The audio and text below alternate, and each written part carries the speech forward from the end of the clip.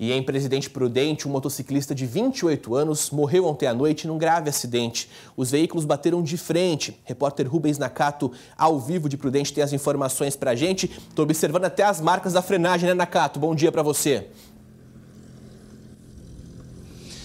Pois é, Casagrande, bom dia para você, bom dia a todos. Bota grave nisso, porque como você disse, olha só o tamanho da frenagem, isso até assusta, né? Tudo indica que o carro, a moto, enfim, estavam em alta velocidade, porque pelo tamanho da frenagem, né? Um quarteirão de frenagem, como o Celso Alípio está mostrando para a gente, foi realmente muito grave, muito forte aqui o impacto nesse acidente. Tão forte que várias peças, tanto da moto quanto do carro, ficaram espalhadas, né? Aqui pela rua, os destroços aí, os estilhaços, enfim. Olha só, tem chinelo que provavelmente era do motociclista, também parte do capacete que foi arrancada do capacete, outras partes do carro e a frenagem que a gente viu lá para baixo, Casa Grande, olha só, ela começa, como o Celso Alípio vai mostrar, lá daquela outra esquina ali, ou seja, atravessou todo o quarteirão aqui, né, depois desse impacto que foi realmente muito forte. Agora, o que, que acontece? Nesse acidente aqui, segundo informações do boletim de ocorrência, o motorista do carro que estava estava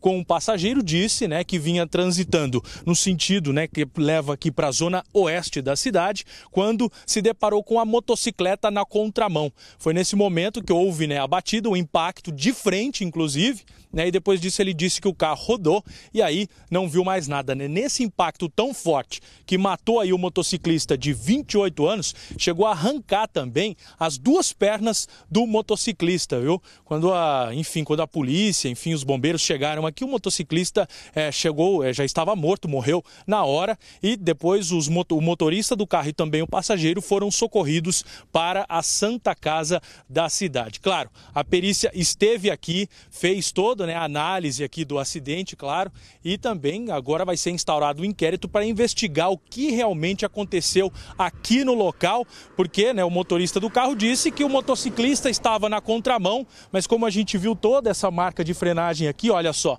é isso daqui é do carro, no caso, está na contramão, né? E o local aqui, Casa Grande, pelo que a gente pôde observar, é um local realmente muito perigoso. A gente está num bairro, um loteamento novo, aqui em Prudente, são poucas casas, aqui mesmo nessa rua aqui não tem nenhuma, né? Então o movimento aqui, a princípio, seria pequeno. Mas como essa rua aqui, a Paulo Bom Giovanni, ela é um ligamento entre as zonas oeste e norte da cidade, muita gente utiliza isso aqui para ir e vir aos bairros aí, né? Desses, dessas zonas da cidade. O que acontece? À noite ainda é mais perigoso.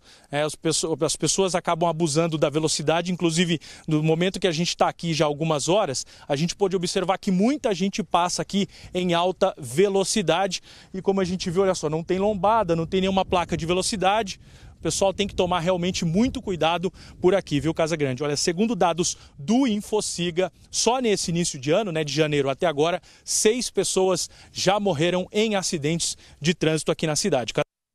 Tá certo, Nakato. Muito obrigado pelas suas informações. No finalzinho deu uma travadinha aqui no nosso ao vivo, mas olha, gente, informação detalhada, viu? Nakato trouxe, mostrou, estava em cima do lance, trazendo as informações para você aí de casa.